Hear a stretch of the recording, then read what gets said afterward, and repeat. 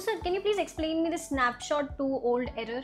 Divanshi, this snapshot too old error, the error code is ORA 01555.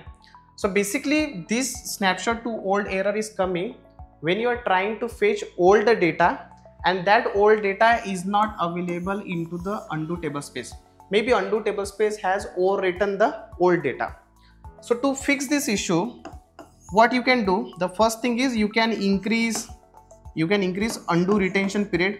So you can check that. You can check the undo retention period and you can try to increase that. You can increase the table space of undo table space. Like you can increase the undo table space and try to you know run the job into the small chunk okay?